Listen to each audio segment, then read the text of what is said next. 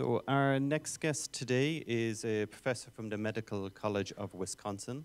He holds a PhD from the University of Maryland in neurophysiology and is a fellow of the California Institute of Technology. He has done extensive research with MRI to examine the neuronal circuits that are related to drugs of abuse and to try and assess the impact of craving, reinforcement, inhibitory control, and decision making on the brain. His focus at the moment in research is on developing biomarkers to try and individualize treatment and predict the treatment outcomes.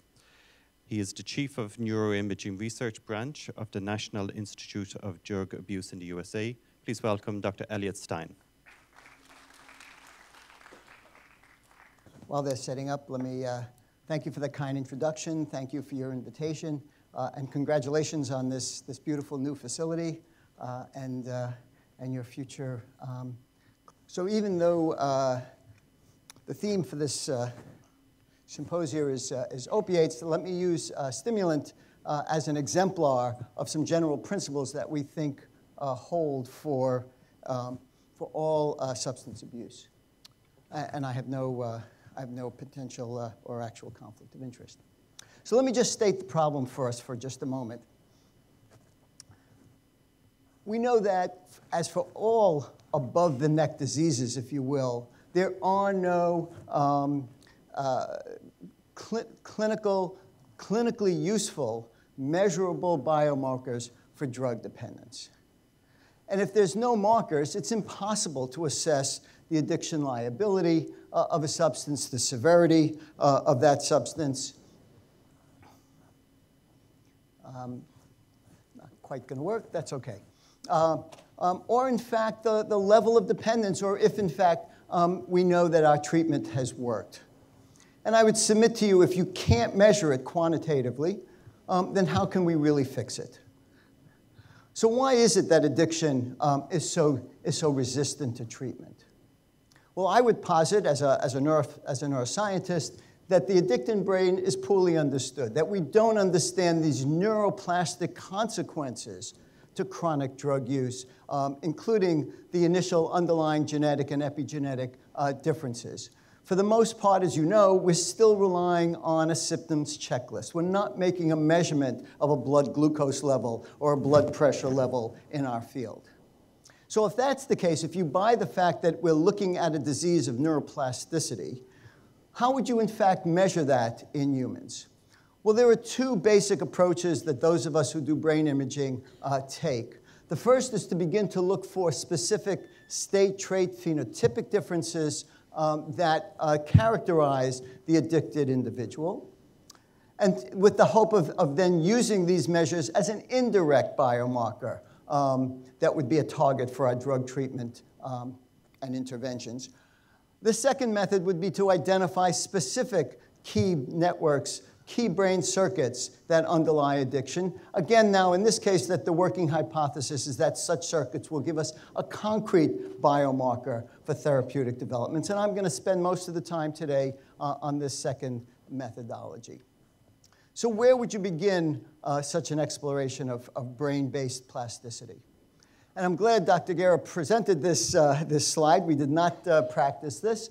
Um, uh, but as, as he mentioned to you a moment ago, we look at a number, we look at a number of intrinsic um, um, uh, normal brain mechanisms that become, uh, that become altered as a consequence of this, uh, of this cyclic behavior. And I want to emphasize um, uh, the aspect that I'll be talking about today, and that's these neuroadaptations, these changes in circuits that we believe fundamentally are, if you will, switched in the presence of this, as, as, a, uh, as a result of this disease, and therefore potential targets for which we will then aim for our treatment. So let me just use, as I said, cocaine dependence as an exemplar. Most of us remember this from, from medical school uh, and, and other uh, training. We know that uh, preclinically the models are very, uh, very compelling of the compulsive nature of cocaine dependence. In humans, we know that the, um, that the recidivism rate is very high, uh, often at least 70% or, or greater. And this loss of control um, that we see in these individuals is behavioral rigidity, reward disturbances, mood disturbances, the slide from Luan Fan that, that was pointed out in the last, uh, in the last speaker, all emphasize elements within the so-called mesocortical limbic dopamine system uh, consistent with these preclinical models. So I'm going to be using that as a framework to begin to explore uh, brain changes with you. And I'll ask the question, to what extent do these local neuroadaptations lead to systems level circuit plasticity, um, uh, including the, the functions within and between the so-called mesolimbic structures. So what brain circuits then identify uh, cocaine dependence?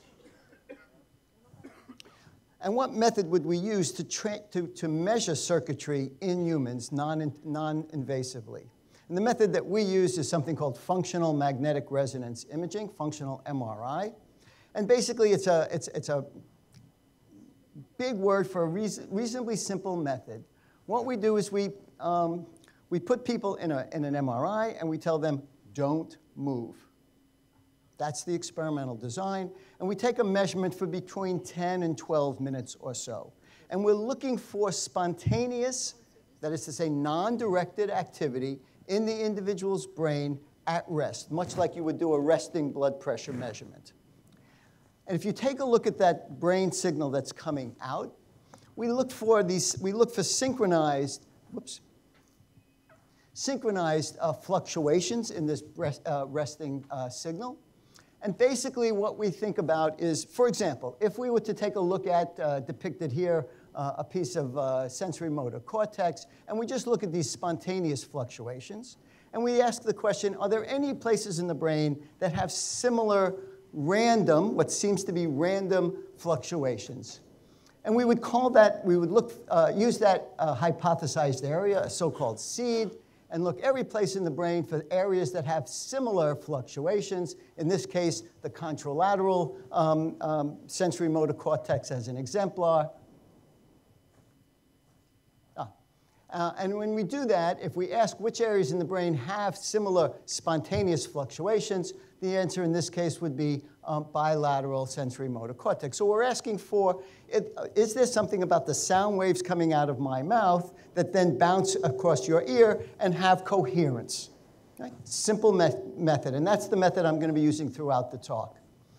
And the framework that I'm going to be using, this is also comes from, from, from Nora Volkow and, and George Koob, um, just uh, redone in another manner, is to, is to use this basic framework to begin to explore uh, cortical striatal um, involvement, amygdala and insular involvement, hippocampal involvement. So this will be my framework as I move through uh, the talk.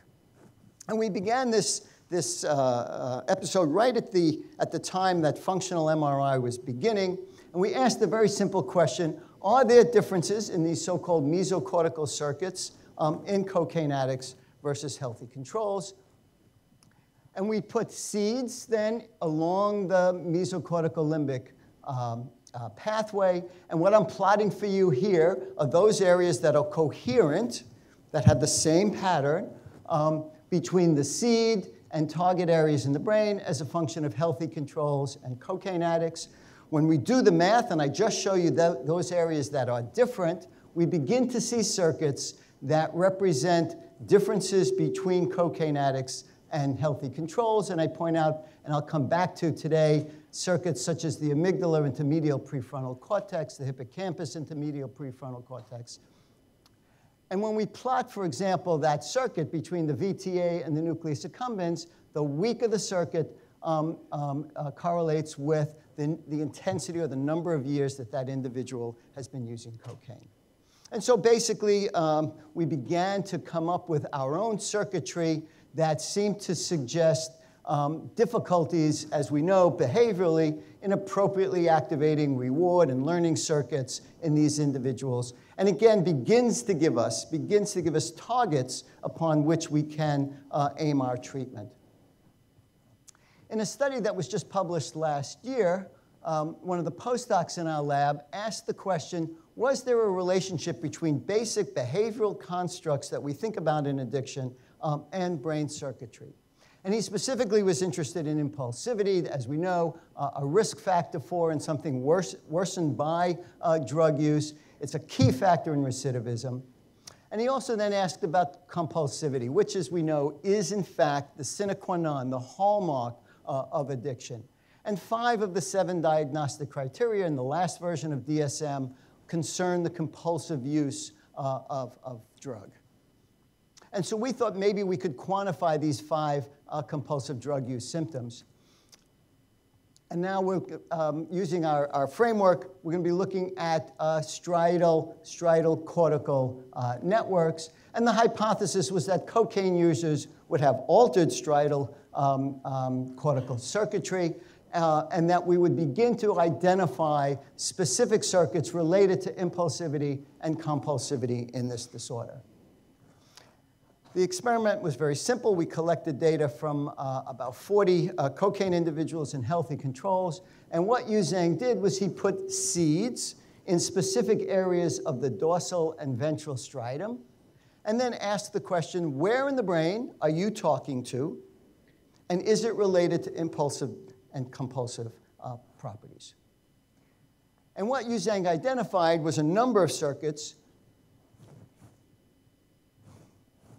two of which I'm going to emphasize today, and that's from the ventral striatum, the inferior division, um, into the, the dorsal uh, anterior cingulate, where there was a reduction in that circuitry um, in cocaine users. And then another circuit here in the dorsal uh, caudate um, to uh, dorsal bilateral dorsolateral prefrontal cortex, where that circuit was, in fact, stronger in cocaine addicts than in healthy controls. Well, why would that be? Well, when we took a look at the relationship of these circuits with impulsive behaviors, in this case, this bilateral uh, dorsal caudate to um, DLPFC, dorsolateral prefrontal cortex, there was a relationship, a direct relationship between the strength of this circuit um, and both current cocaine use uh, and the individual's impulsivity. And this is a very similar uh, situation as was reported by by uh, Karen Ersche a number of years ago, in that this area of the dorsal caudate um, uh, signaled the uh, change in impulsive, um, uh, impulsivity in cocaine addicts. So pretty good coherence of, these, of the two data sets. Well, what about compulsivity? And the hypothesis here is that, for example, similar to a, to a car, it would be, we, we wouldn't be seeing a single circuit. What we'd be looking at is the balance between the accelerator and the brake, if you will. And so the hypothesis then was if we took a look at the circuitry between ah, the, this, the, that I just showed you, this ventral striatum and the dorsal ACC, and the more superior uh, part of the ventral striatum and the medial prefrontal cortex, and that the difference, the difference between these circuits would represent the change in compulsive behaviors in these cocaine addicts. And indeed, um, the stronger the difference of the circuit, the more compulsive symptoms uh, cocaine, addicts, uh, cocaine addicts displayed. So impulsivity, um, uh, then both a risk factor uh, and a consequence of cocaine use is associated with an increase in dorsal striatal uh, frontal connectivity, uniquely in cocaine addicts. And this compulsive cocaine use, um, a, defining, a defining characteristic of the disease, is associated with an imbalance between so-called go and stop circuits. So if that's the case, the next question we wanted to ask was, can striatal circuits then serve as a biomarker for cocaine treatment and treatment outcome? So let me just emphasize um, that that extensive, extended cocaine use, as we move from, um, uh, from, from uh, uh, so-called volitional use to compulsive and habitual drug taking, there's a shift in the brain from control circuitry um, under, uh, under um, uh, sal incentive salience um, circuitry from the ventral striatum to more, to more habit-based um, uh, stereotypy in the dorsal striatum. And so the hypothesis then going in was to take seeds in the nucleus accumbens, the caudate, and the putamen in the striatum, and that we would see differences emerge um, in the strength of corticostriatal circuitry that would predict, predict treatment outcome. So in order to do this, we, we uh, uh, collaborated with a, with a colleague at the University of Texas Southwestern, uh, Bryon Adinoff, a postdoc in my lab, uh, Meredith McHugh, uh, did all the data analysis. And we had 45 uh, cocaine individuals in a residential treatment unit. And just before discharge, we put them in an MRI, and we had, in this case, six minutes of resting, of resting data. Uh, we did the full uh, neurocognitive clinical battery matching healthy controls. And we followed these individuals for up to 24 weeks after treatment. And it turned out that we, and, and so for the purposes of this talk, I only want to talk about the, the status outcome at 30 days, so-called early remission, according to DSM. And it turned out after 30 days, this 45 uh, um, uh, individuals, we had about half and half. About half relapsed and half didn't relapse at 21 days, at uh, uh, at 30 days. So that's my outcome measure that I'm going to be looking for a brain signal. And we put our, we put our seeds, as I said, within the putamen, nucleus accumbens, and caudate, and only the putamen, and only a circuit between the putamen and the posterior insula was able to predict the treatment outcome. We asked the question, does that circuit um, um, predict impulsivity of these individuals retrospectively? And the answer was yes. The weaker that circuit, the more um, impulsive these individuals were based on the Barratt impulsivity um, um, measure. And then we, we also asked if this circuit actually mediated the outcome, the outcome of impulsivity uh, to addiction, and it did. The circuit fully mediated the relationship between impulsive behavior and uh, addiction status. Well, why the, why, the, um, why the insula? This was a whole brain search. We only started with the putamen and had no idea where the circuit was. Right? The circuit turned out to be here in the posterior insula. And if you think back to, to, to, um, to, to neuroanatomy, um, we mostly ignored the insula in, in those days. It was kind of tucked inside the brain. What was it doing? Um, in this nice summary by uh, Bud Craig a few years ago, he talked about the, um, the continuum within the insula from posterior to anterior, where the posterior insula seems to be mostly involved in interoception, interoception, as well as homeostatic regulation, inputs from the hypothalamus and the amygdala. And so we think that this uh, circuit uh, seems to confer some vulnerability to the development of addiction.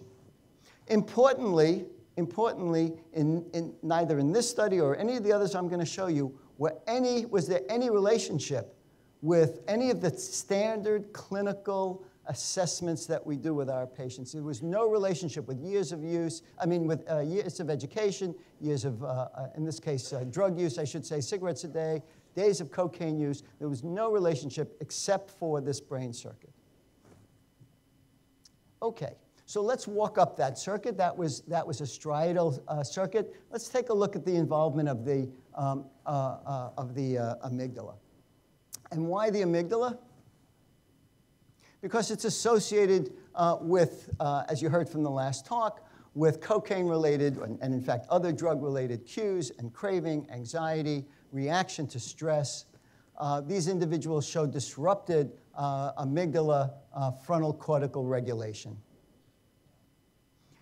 And we know from, uh, from neuroanatomy that there isn't a single construct, uh, uh structure called, uh, known as the amygdala. It has two major divisions, the so-called basolateral uh, division uh, and the corticomedial division with very discrete inputs and outputs.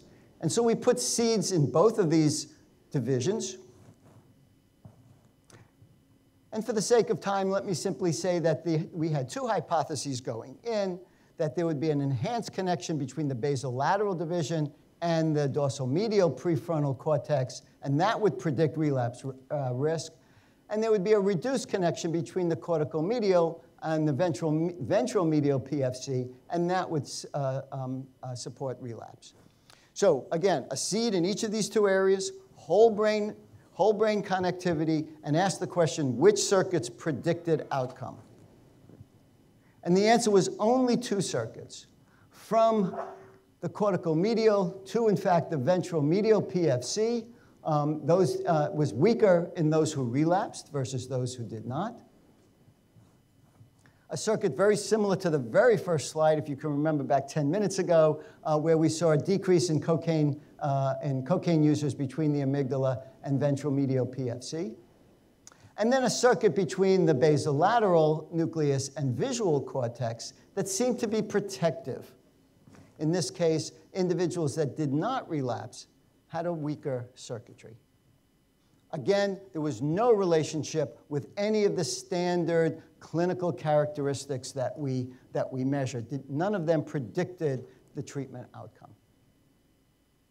How good were we at, pre at predicting the outcome? Of, we were at about 70, 73% accuracy, simply by looking at these two circuits. And a conversation for later, perhaps in our, in our um, discussion period this afternoon is, is that good enough?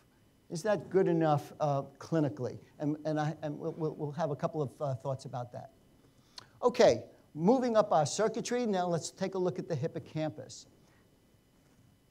And why the hippocampus? Because we know that this area is involved in associations that are produced uh, during the, uh, well, for many purposes, but in our case now, for, for drug, uh, for drug self-administration, for drug taking. And these neuroadaptations are involved in condition responses. You heard this just a bit uh, from Dr. Guerra a minute ago. Um, and it's these stimuli in the absence of drugs that leads to cue-induced drug cravings and then, uh, and then subsequent drug taking. So our hypothesis was that individuals who relapse would show changes in, oh, I should say, so the other way to measure brain activity is to look for standing neuronal activity if you put an EEG electrode on, or in our case, again, from an MRI standpoint, we looked at changes in blood flow and metabolism. So this is a, a measure of, of, regional cerebral blood flow indicating changes in neuronal activity. Okay? So we would see changes in neuronal activity in the hippocampus uh, that would be related to, uh, to treatment outcome, and that these circuits uh, between these regions would be disrupted uh, in the relapse group. So again, in this case, we did a whole brain search and asked which areas do we see tonic brain activity changes as measured by changes in regional cerebral blood flow related to the treatment outcome. And the answer was posterior hippocampus. And in, the, in this case, those who relapse, there's an increase in basal firing in the hippocampus, this region that's involved in binding the conditioned uh, effects of, of drug taking.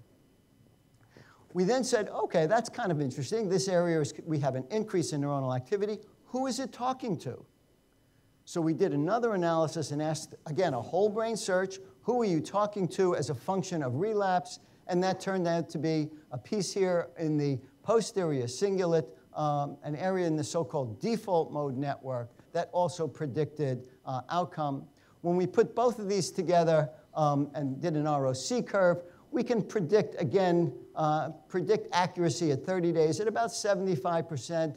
At 60 days out, again, about 75, 76%. So not too bad. Two, one circuit and one area of the brain. Again, no ability to predict, to predict uh, uh, using clinical measures. And interestingly, we did not see any changes in any of the mesocortical limbic dopamine regions um, as a predictor. It was only the hippocampal basal activity.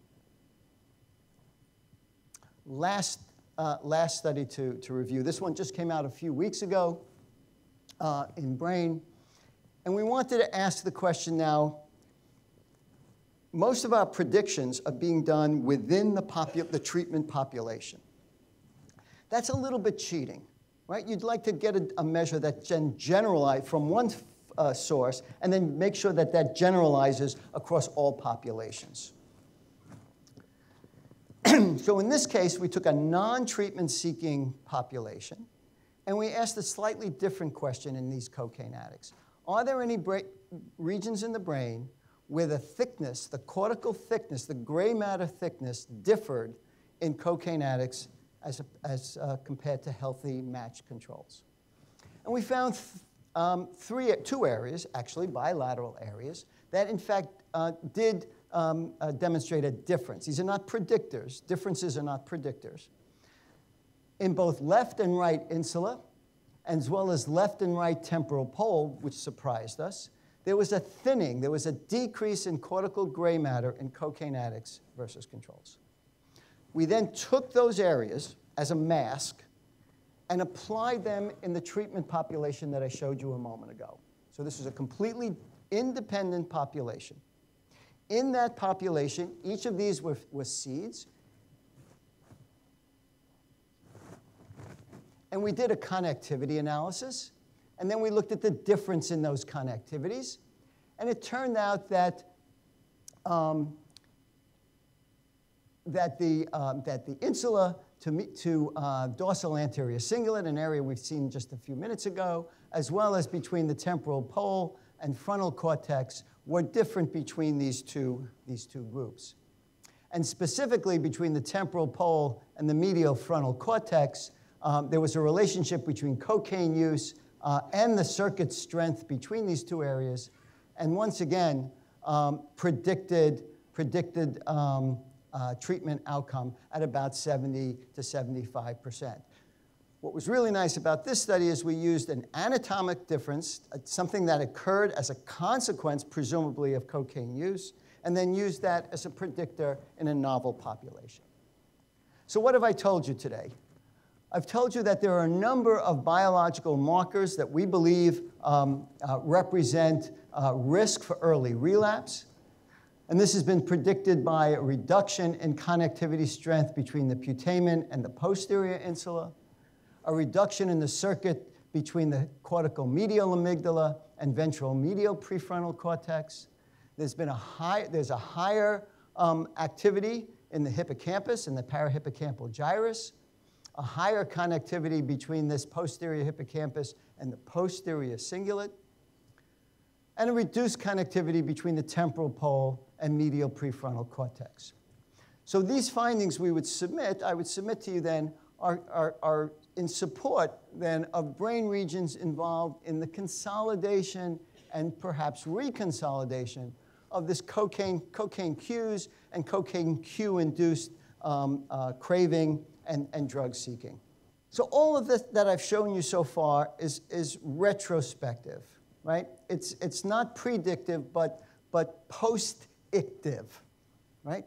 The next step really is to take these data and to put our money where our mouth is and to use these as predictors uh, going into a de novo um, a treatment study. And so what my lab is now uh, in the process of doing is a number of things. The first is I showed you a number of different independent, perhaps independent, markers of addiction uh, treatment outcome. Can we make a composite measure? Can we give a physician, after all, what you want when you're making a diagnosis is you want to know 220 over 110. You want to know when that 220 goes down to, goes down to 150. You want to see that 150 go down to 110. And you want to be able to say, congratulations, you no longer have hypertension. You need that number. And so part of my goal now in, the, in my lab is to try to combine these markers into a single number that ultimately can be used uh, as an outcome uh, predictor of which we know how much treatment and what treatment is going to be efficacious. We then want to take this, uh, this concept and use this uh, um, and get some predictive validity, as I said, uh, going into um, a study um, a priori rather than post-dictive. And perhaps the best way to do that then would be to, to do a specific uh, intervention, a causal mechanistic intervention, if I in fact think that this particular circuit or circuits are different and predictive of that disease, then that, that's my treatment outcome. That's my, my target. And so, how do I target that specific circuit and watch that circuit as the blood pressure goes down from 220 to 110? And one way potentially to do that is with this novel, no, sorry, this novel intervention called transcranial magnetic stimulation, TMS. As you know, it's been approved in the US by the FDA uh, for depression. It's not been approved for any other um, neuropsychiatric disorder, and we're beginning to look at this uh, in both cocaine uh, and smoking uh, addiction in my lab. So that would be a mechanistic way to causally uh, reverse uh, these circuits. And then the last thing that we're trying to do in my lab, and as you know uh, much better than I as, as treatment providers, there's no such thing as a smoker, a, a cocaine user, an opiate user. It's an individual with comorbidities, as you heard just a few minutes ago. It's the anxious smoker or the depressed smoker, whatever it might be. And so we need to then be able to give you, as treatment providers, something that you can do a differential diagnosis, not simply the 220 over, over 110, but some way to then say, is this a kidney problem? Is this a vascular problem? What, how do we then differentially diagnose that and allow you to use um, a specific tailored treatment intervention? So that's the long-term goal. I just want to thank um, the individuals in my lab. I've tried to highlight some of the folks along the way um, that did all of the work uh, Gang uh, in that last study, Meredith McHugh, my treatment collaborator, Bryon Adinoff, uh, and a number of, of just really talented psychiatrists, uh, image processors, uh, and neuroscientists uh, who've made this possible. Thanks so much. Thank you very much, Dr. Stein. I think we have time for a few questions there, if anybody in the audience has any Just while we're waiting on that. Dr. Stein, can you tell us uh, half of our clients that we see are, have problems with heroin? Have you known much research and is it similar pathways that you see in heroin? So, so yes, so the question is, uh, are there commonalities between heroin addiction and um, the exemplar that I use today, stimulant uh, abuse? And we believe the answer is yes, that the commonalities are, um, are um, perhaps completely overlapping, that we can think of this as, as these different pharmacologic agents ultimately uh, coming in from different pathways, but um, uh, coalescing on a common series of structures, as you notice from, from the George Koob and, and Nora Volkow uh, um, model uh, and the model I used, there was no drug there. It was all addiction. And we believe that the, the fundamental circuits that are, in fact, dysregulated um, are the same um, no matter what. Uh, my lab has not uh, yet begun, we're just beginning um, a, uh, uh an, an, opiate um, uh, treatment study right now, uh, actually using impaired physicians as our, um, as our subjects. surprisingly enough, um, at least in the States, most of, the, of those individuals have about a 70 to 75% success rate, so very high. And so they're being used as our target population to develop these interventions. Excellent. That'd be very useful for us. And just one quick question there before you go. The um, sorry, I think I just saw somebody else wanted to ask a question. I'll let the lady there go. Okay. Can can you hear me? Um, excellent presentation. Lots of food for thought. I'm. Can you hear me? Is that better? Can you hear me? Okay. Um, I'm a neck downwards kind of scientist, taking the easy route um, it does seem to be that there are a lot of common circuitry between binge eaters and, uh, you know, uh, what you're sh showing us right here. I mean, I'm, I'm an obesity scientist, and that's my area of expertise. But it really does look like these are, there are, there's a huge amount of redundancy in these circuitries. Is, uh, could you comment on that?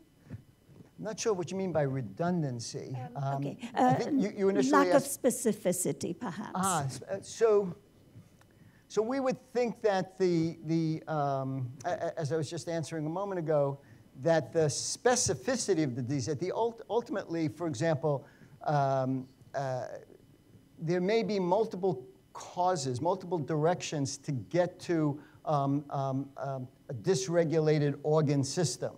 There's multiple routes to get a dysregulated kidney or dysregulated cardiovascular system, but at the end of the day, the cardiovascular system is the one that we're targeting.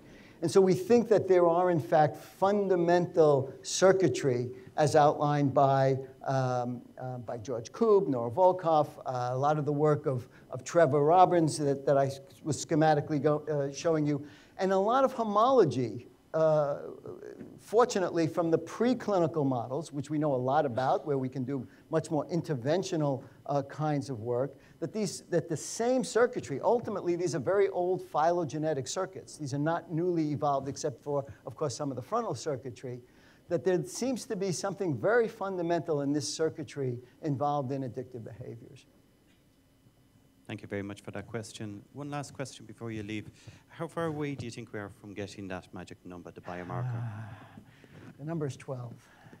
Yeah, so, so how far away are we? That's, that's, that's great. The problem is not the, the lack, unfortunately, the lack of patience. The, the problem is, is um, the lack of the data, um, brain-based data. Um, these are expensive studies to do. It, it's not, uh, it's not uh, very straightforward, and most treatment centers do not have um, access to um, expensive MRIs and, and, and expensive uh, engineers and, and, and physicists to, to do the, the data analysis. Um, and unfortunately, you know, the algorithm, and this is not, you know, not really picking on any, the, the, the basic algorithm every place in the world is we randomize people into a clinical trial. 10% perhaps or so might be successful. And uh, we shake their hands and say, uh, have a nice life, congratulations. 80 or 90% are unsuccessful. Uh, we re-randomize them into another study, and, and, and uh, what did we learn about addiction? We learned nothing from either the successes or the failures. And so, in my mind, we need to be able to apply quantitative biological tools uh, against which we can now um, uh, follow this trajectory and understand why the successes were successful. Are we going to be able to get that then? When are we going to get that? Is, is I suppose, to some extent, uh, you know, going to be related to, to how many individuals we can, we can put into machines. The reason we know 220 is a bad number and 110 is a good number is because we have, we have, an epi- we have a huge numbers of epidemiologic outcomes, right? We have millions and millions of people we know 220 is bad. We don't have that anything close to that in addiction. So I'm, I'm not optimistic that it's going to happen in the next few years. Hopefully Naufar will be able to contribute to that. I, that would be wonderful. That would be wonderful. Thank you very much, Thank Dr. you. Stein, everyone.